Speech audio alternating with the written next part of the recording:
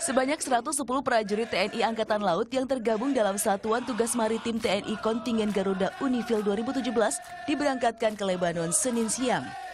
Tim berangkat menggunakan kapal perang Republik Indonesia KRI Usman Harun yang dikomandoi Letkol Laut Alan Dahlan, menggantikan KRI Bung Tomo yang telah menjalankan misi yang sama selama satu tahun.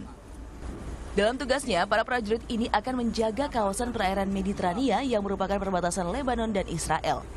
Tak hanya itu, Satgas juga mencegah penyelundupan senjata melalui jalur laut dan udara yang dapat merusak upaya perdamaian.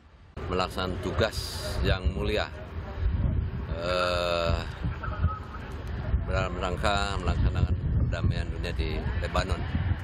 Jadi masuk kepada Satgas eh, Unifil berapa? 20 20J.